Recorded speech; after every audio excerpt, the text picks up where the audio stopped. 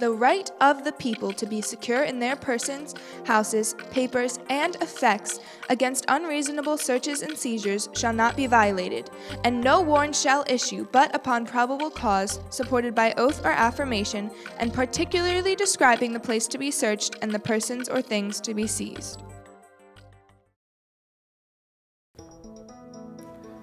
In the years leading up to the American Revolution, the galvanizing example of government overreaching were the so-called general warrants and writs of assistance that authorized the king's agents to break into the homes of scores of innocent citizens in an indiscriminate search for the anonymous authors of pamphlets criticizing the King of England.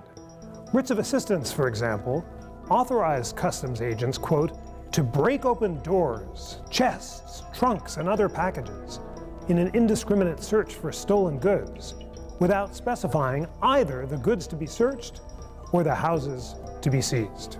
In a famous attack on the constitutionality of the writs of assistance in 1761, James Otis said, It is a power that places the liberty of every man in the hand of every petty officer.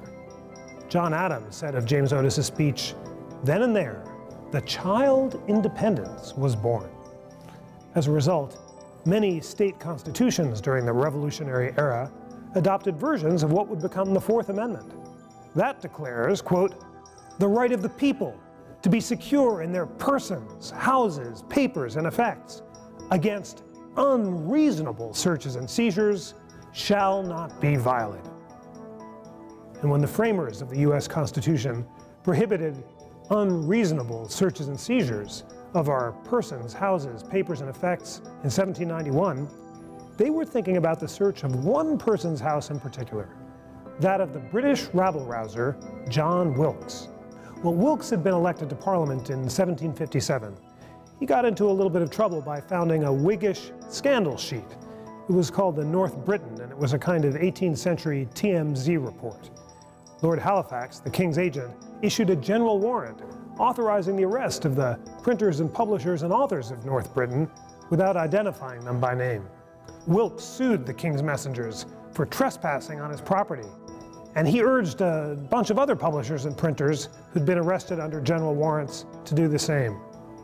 A jury awarded Wilkes a thousand pounds in damages. This was a ruinous amount in its day, a kind of McDonald's coffee verdict. So now let's fast forward to the United States Supreme Court's first encounter with electronic searches. This was a case called Olmstead versus United States. It was decided in 1928 at the height of the war on booze, and it arose when the federal government began to tap phones in an effort to enforce prohibition. Government agents in this case put wiretaps on the telephone cables under the sidewalks leading up to a suspect's office and they concluded that he was indeed a bootlegger. He objected that the wiretaps were an unconstitutional search because the government hadn't gotten a warrant.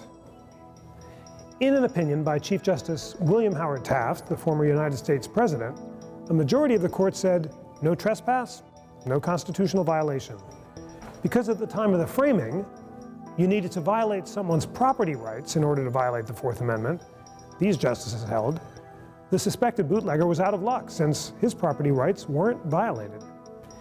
In a visionary dissenting opinion, my hero, Justice Louis Brandeis, disagreed. In the Wilkes trial, he noted, a far slighter intrusion seemed subversive of all the comforts of society. Brandeis insisted that the Constitution had to protect just as much privacy in the age of the wires as it did during the colonial era, whether or not a physical trespass was involved. Well, in 1967, the Supreme Court seemed to accept Brandeis's argument that technologically enhanced eavesdropping could qualify as an unreasonable search. In the Katz case, government agents put a listening device on a public telephone booth and they recorded a gambling suspect's end of the conversation without his knowledge, overruling the Olmstead decision, which had held that there could be no search or seizure without a physical trespass, the government announced that the Fourth Amendment protects people, not places.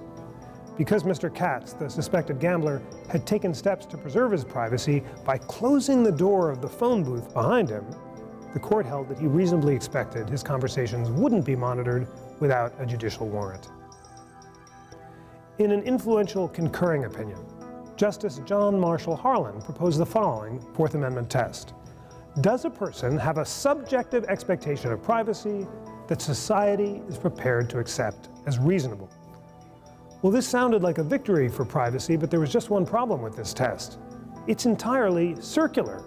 As advances in the technology of monitoring and searching have made ever more intrusive surveillance possible, expectations of privacy have naturally diminished with a corresponding reduction in constitutional protections. Today, the great controversies involving the Fourth Amendment involve government surveillance, such as the mass collection of telephone data, or the search of cell phones, or the tracking of suspects 24 7 using global positioning system devices or flying drones. Now that most of our data is stored in databases owned by third parties, None of these searches require physical intrusions into our homes. And yet, they can reveal far more about our intimate activities than the general warrants that so outrage the American framers. Do you think it's an unreasonable search of your person or of your electronic effects for the government to collect the telephone numbers you dial, even if no human being actually sees them unless you're considered a terrorist suspect? These are the kind of issues Americans are debating today just as we debated them in the days of John Adams, James Otis, and John Wilkes.